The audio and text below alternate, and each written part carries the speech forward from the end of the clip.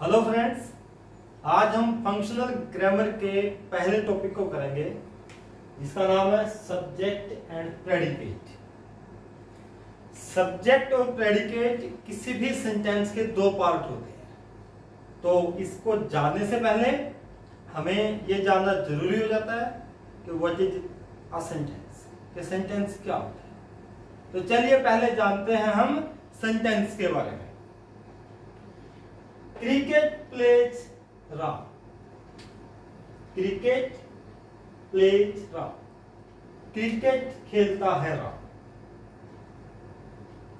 कभी आपने सुना है कि कभी कोई ऐसा कहता हो, खेलता हूँ मैं क्रिकेट रोटी मैं हूँ खाता. नहीं सुना होगा। क्योंकि ये शब्द ऑर्डर में ही नहीं है। ये वर्ड्स क्या है हमारे ऑर्डर में नहीं है। तो सबसे पहले सेंटेंस का एक नियम है कि जो भी वर्ड सेंटेंस में होंगे, वो ऑर्डर में होंगे अरेंजमेंट में होंगे, व्यवस्था में होंगे। दूसरा सेंटेंस राम इट्स वाटर भाई सेंटेंस स्ट्रक्चर तो सही है।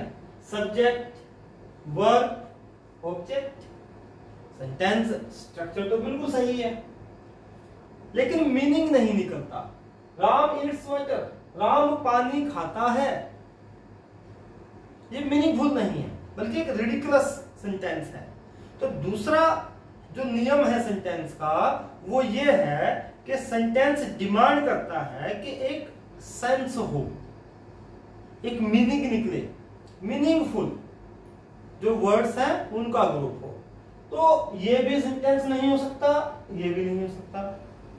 Next Ram is an what हमारी एक जिज्ञासा बनती है। जब भी हम कोई बात सुनते हैं तो हमारी एक जिज्ञासा बनती है। और इसमें हमारी क्वेरी है कि राम इज़ एन क्या है? ये इनकम्प्लीट सेंटेंस है। ऑर्डर में तो है, लेकिन इनकम्प्लीट है। ये कंप्लीट था, लेकिन सेंस नहीं निकलती थी। ये ऑर्डर में नहीं था। तो अब सेंटेंस है क्या? Ram plays cricket. Ram cricket खेलता है। Ram is an engineer. Ram एक इंजीनियर है। सेंटेंस एक अरेंजमेंट है। ग्रुप ऑफ़ वर्ड्स का, जो हमें एक कंप्लीट सेंस दे। ये क्या है? ग्रुप ऑफ़ वर्ड्स है। अरेंजमेंट भी सही है। सेंटेंस का स्ट्रक्चर क्या कहता है? कि सब्जेक्ट वर्ब ऑब्जेक्ट इसी स्ट्रक्चर में है ये। Ram is an engineer. ये भी इस स्ट्रक्चर में है। तो सेंटेंस क्या है? सेंटेंस की अगर हम डेफिनेशन की बात करें तो वो क्या है? Sentence is an arrangement of a group of words that gives a complete sense एक अरेंजमेंट वर्ड्स का जो कंप्लीट सेंस देता है, जो ऑर्डर में हो अरेंजमेंट में हो। चलिए, ये बात हो गई सेंटेंस की।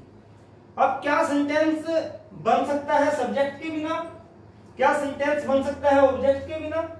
हाँ बन सकता है। केवल वर्ब ही एक ऐसी चीज़ है जिसके बिना सेंटेंस को नहीं बनाया जा सकता। सिंपली कोई जा रहा है, आप उसको रोकना चाहते हैं। स्टॉप सेंटेंस है। प्ले खेलो। सेंटेंस है। छोटा बच्चा, अक्सर आपने देखा होगा, क्या कहता है? पानी इट मीन्स उसको पानी चाहिए। मुझे पानी चाहिए, ना तो मुझे बोलता है, ना चाहिए बोलता है, खाली पानी बोलता है। तो ये क्या चीज़ है कि एक वर्ड से भी सेंटेंस कंप्लीट हो सकता है। तो यहाँ पर वो वर्ड क्या है? वो वर्ब हो सकती है। लेकिन इसका मतलब ये नहीं है कि इनमें सब्जेक्ट या ऑब्जेक्ट नहीं है। हो सकता है किसी में ऑब्जेक्ट ना हो, किसी में सब्जेक्ट ना हो। इसको बोलते हैं stop it means you stop किसी को बोलते हैं play it means you play भाई तुम खेलो तो हम बोल नहीं रहे हैं कि तुम बच्चों को अक्सर क्लास में बोलते हैं stand up it means you stand up keep silence it means सबके लिए यू ऑल कीप साइलेंस तो इस प्रकार से हमने जाना कि सेंटेंस क्या होता है। अब सेंटेंस के दो पार्ट हैं और पहला पार्ट उसका सब्जेक्ट है और दूसरा प्रेडिकेट है। अब हम सब्जेक्ट के बारे में जानेंगे कि सब्जेक्ट क्या है। तो हम बात करते हैं कि एक सेंटेंस में सब्जेक्ट क्या होता है। किसी भी सब्जेक्ट के बारे में जानने से पहले यह जानना ज़रूरी है कि सब्जेक्ट के पार्ट कौन कौन से हैं। अब हम जब सब्जेक्ट के बारे में पता करेंगे कि भाई इसमें राम सब्जेक्ट है। तो इसके पार्ट कौन कौन हो सकते हैं? एक सब्जेक्ट को कौन कौन सी चीज़ एक्सप्लेन करती है? तो चलिए पहले तो सब्जेक्ट और प्रेडिकेट को अलग अलग कर लेते हैं। जब हम सब्जेक्ट और प्रेडिकेट को अलग अलग कर लेंगे, तब हमें पता चल जाएगा कि हमें केवल सब्जेक्ट के बारे में जानना है। तो देखिए, जहाँ से भी वर्ब शुरू होती है, किसी भी सेंटेंस में, समझ लीजिए उसके बाद का सारा का सारा सेंटेंस या वो पार्ट उस सेंटेंस का प्रेडिकेट है। तो यहाँ पे कहाँ से शुरू होती है प्लेज प्लेज क्रिकेट ये प्रेडिकेट है। इसका मतलब राम क्या हो गया? सब्जेक्ट ही क्या है?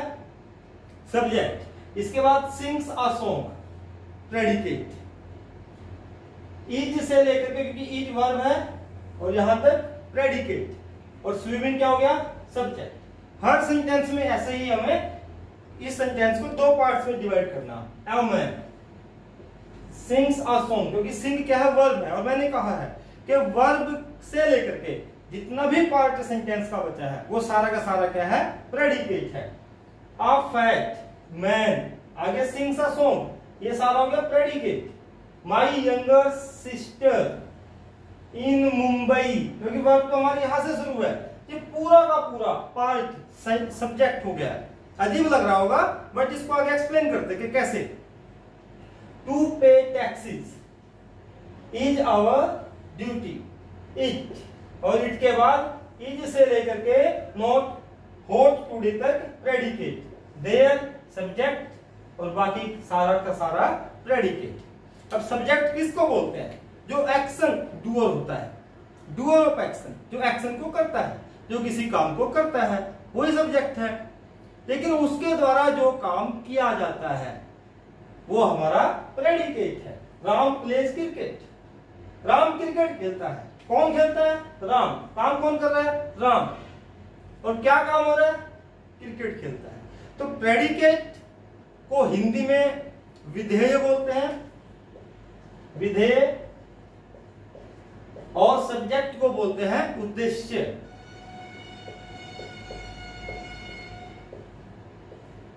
वीडियो के इस पार्ट में केवल हम सब्जेक्ट को एक्सप्लेन करेंगे।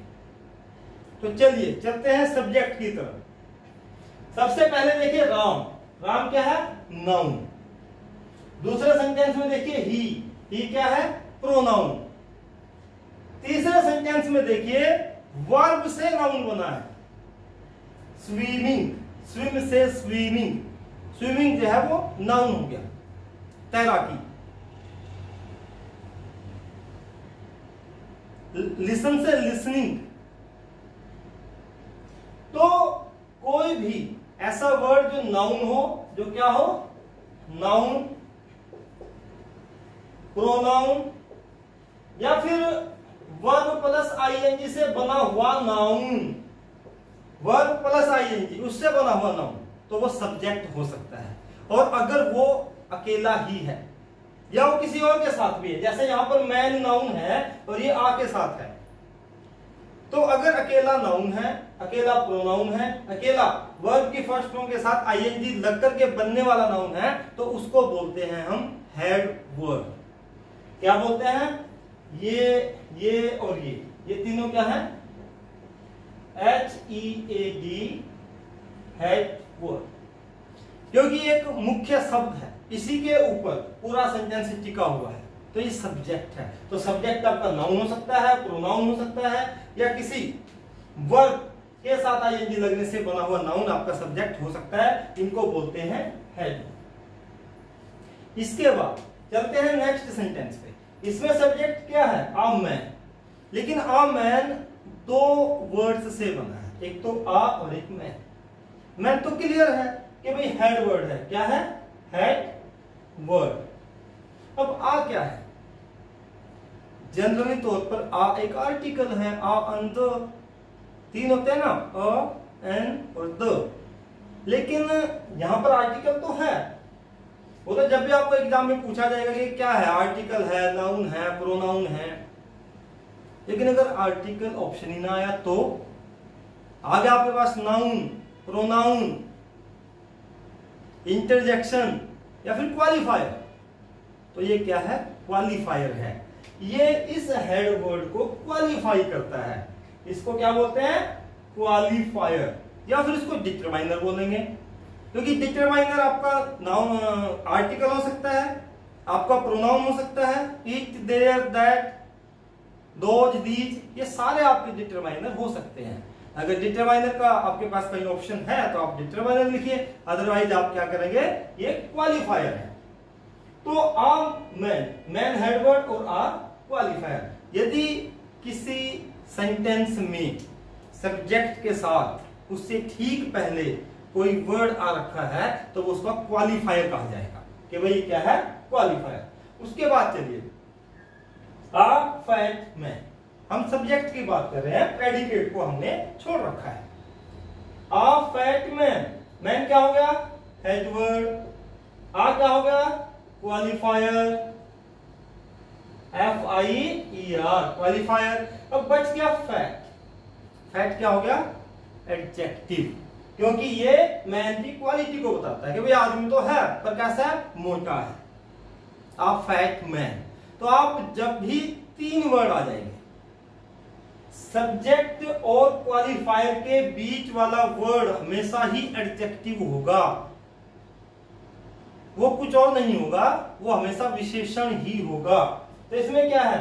ये एडजेक्टिव है, ये हेडवर्ड है और ये क्वालिफायर है। और अगर सब्जेक्ट पूछा जाए कि इस सेंटेंस में सब्जेक्ट क्या है तो पूरा का पूरा ही सब्जेक्ट है फैट मैन इसमें आ मैन ये पूरा का पूरा ही क्या है? सब्जेक्ट है। आ फैट मैन पूरा का पूरा ही सब्जेक्ट है। अब आगे चलिए।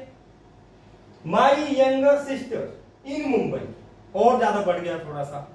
सब्जेक्ट का और विस्तार कर दिया। सब्जेक्ट के बारे में कुछ एडिशनल नॉलेज देती एक्स्ट्रा इंफॉर्मेशन देती। क्या? कि माई यंगर सिस्टर तो है, लेकिन कहाँ पे? मुंबई में। ये एडिशनल इंफॉर्मेशन है।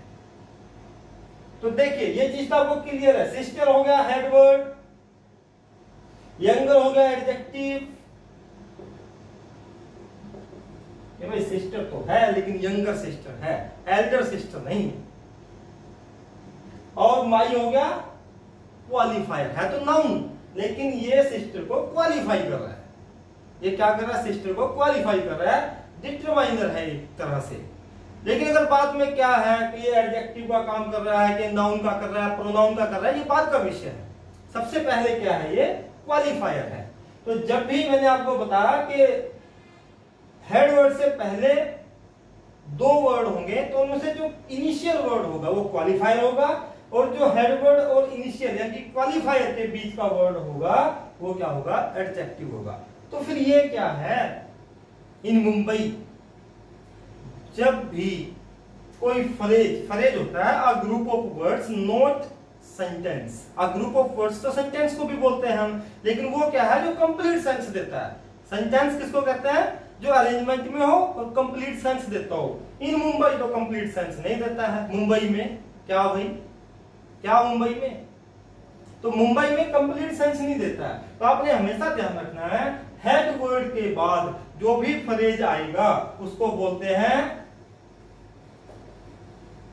एडजेक्टिवल फ्रेज क्या बोलते हैं उसको हम? एडजेक्टिवल फ्रेज बोलते हैं। इज़ इट क्लियर तो यहाँ पर क्या हो गया? ये एडजेक्टिवल फ्रेज हो गया। कुछ भी हो सकता है। The black bird sitting in the tree तो सिटिंग इन द ट्री क्या है? एडजेक्टिवल फ्रेज है। तो आपको यह बात भी क्लियर हो गई है कि ये ठीक हेड वर्ड के बाद होगा।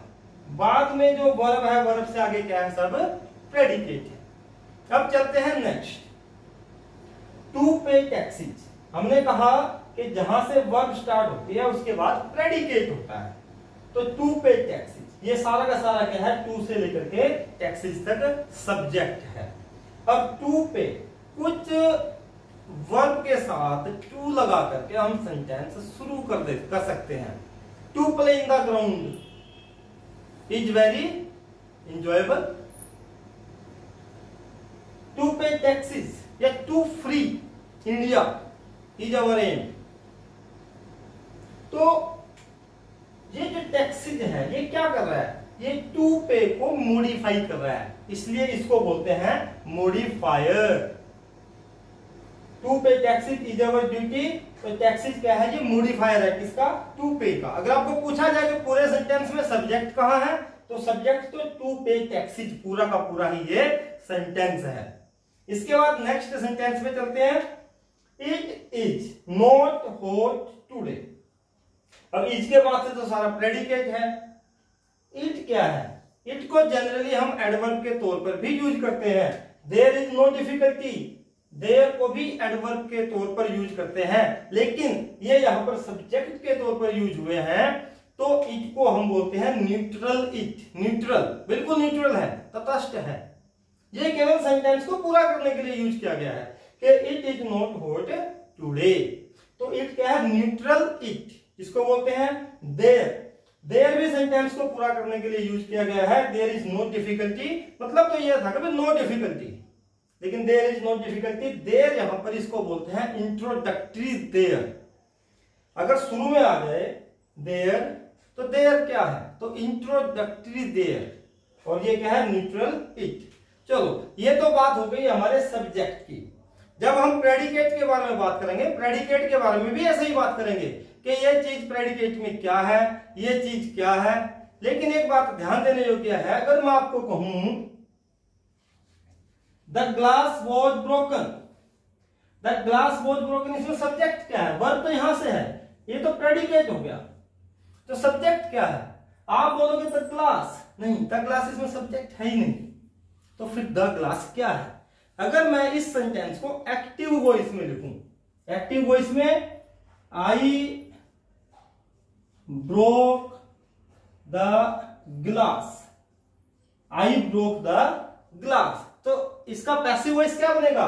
The glass was broken by me भाई पैसिव वॉइस में तो सब्जेक्ट ऑब्जेक्ट बन जाता है और ऑब्जेक्ट सब्जेक्ट बन जाता है। तो ये ऑब्जेक्ट था, ये सब्जेक्ट बन गया। तो द ग्लास वाज ब्रोकन मतलब मेरे द्वारा ग्लास टूट गया। मेरे द्वारा मतलब वो एक्शन मैं कर रहा हूँ। मेरे से हो रहा है वो एक्शन तो इसमें क्या आएगा मी मी क्या है? सब्जेक्ट है। द ग्लास सब्जेक्ट नहीं है। एक एग्जांपल और देख लीजिए आप इसका। The police